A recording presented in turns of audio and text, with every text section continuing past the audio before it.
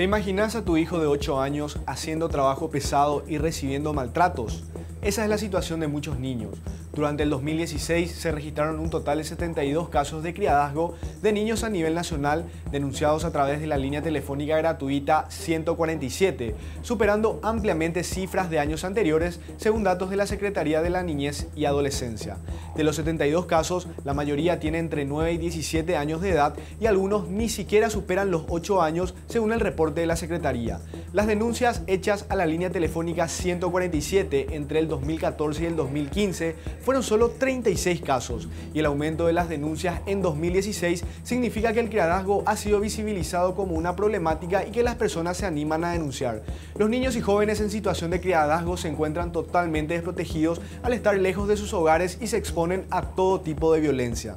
Para La Nación, soy Álvaro Rojas.